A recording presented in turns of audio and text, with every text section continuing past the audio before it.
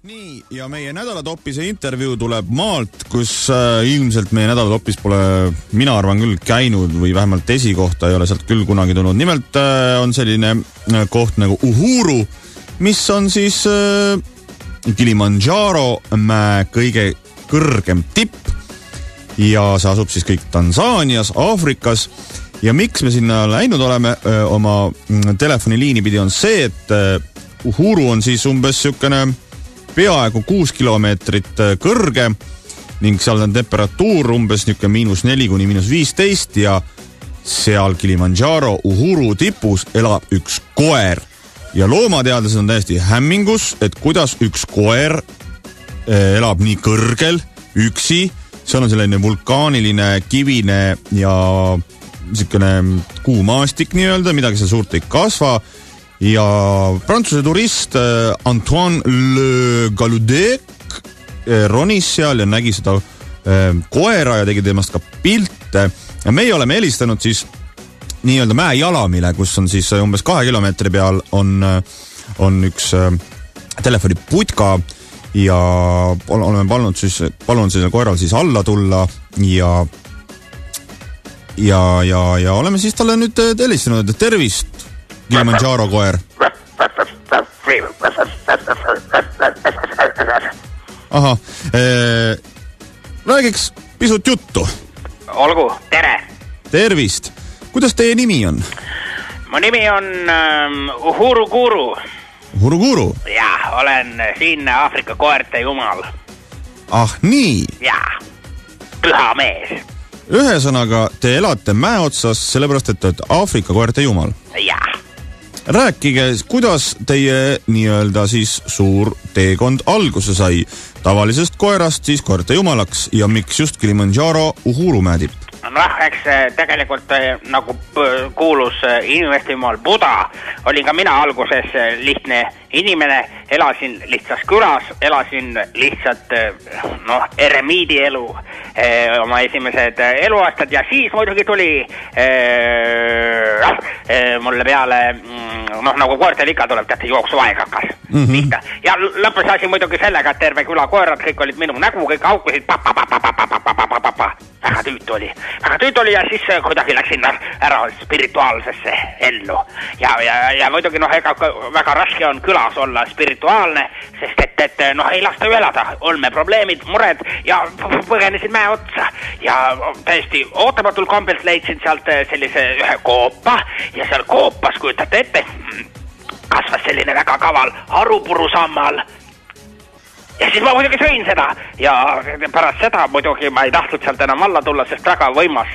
vaatasin äh, hallutsinatsioonset televiisorit iga päev enda sees ja, ja, ja väga tore, väga tore. ah nii, nii et elate niisugust mitte päris askeedi elu, et eh, ikkagi teil on olemas seal televiisor?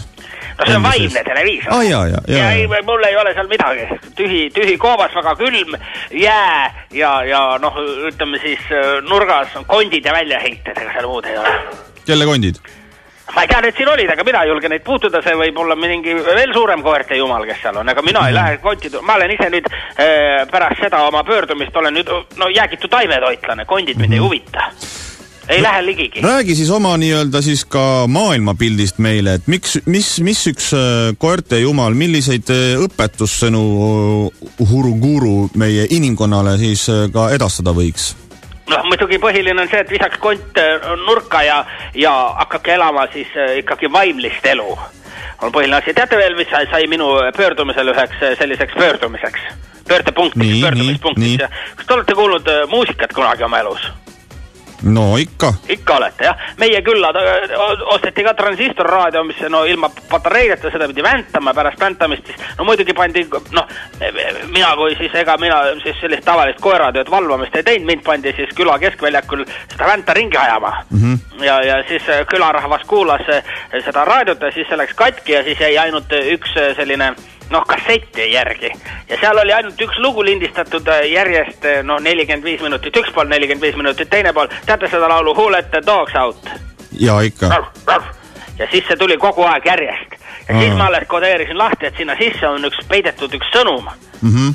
ja, ja loomulikult see sõnum, see sõnum siis ongi, kutsub üles äh, kõiki koeri ja, ja, ja ko- koera armastajaid ja, ja koeralaadseid äh, siis elama sellist spirituaalset ja puhast elu, puhastuma, minema üles mägedesse äh,, võimalusel siis äh, seda arupurusammalt äh, hankima, seda sööma ja tegelikult äh, kui ma nüüd siin natuke ko- ko- kosun, siis ma lähen ikkagi laia maailma ja hakkan seda arupurusammalt jagama ka teistele inimestele ja siis ja, ja koertele ja koerasarrastele ja siis kogu maailm lõpuks on meie kätes. algamas on ülemaailmne koerte revolutsioon.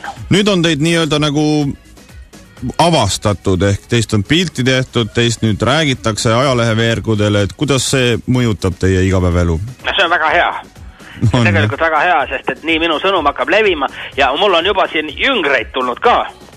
Näiteks äh, siin on Ameerikast on paar seda väga väikest koera, kelle siis on suured albatrossid äh, toonud siia minu juurde äh,. mõned šnautsrid on, üks Leonberger äh,, dogi siis on paar Newfoundlast äh, oi-oi, meil on siin ilmatõuta koeri, meid on juba siin päris palju mm. -hmm. ja muidugi täiesti, te, te arvate, et te küsite kindlasti nüüd kohe külma kohta ka, et siin on ju väga külm. küsin külma kohta nüüd. no las olla, las, olla, ütlen vastu, mis siis? All on jälle liiga palav. kuidas, kuidas nüüd koera, ütleme siis jumal ka suhtub, ütleme teie põlisesse vaenlastesse või ütleme, kellega te kunagi läbi ei saa, kassidesse?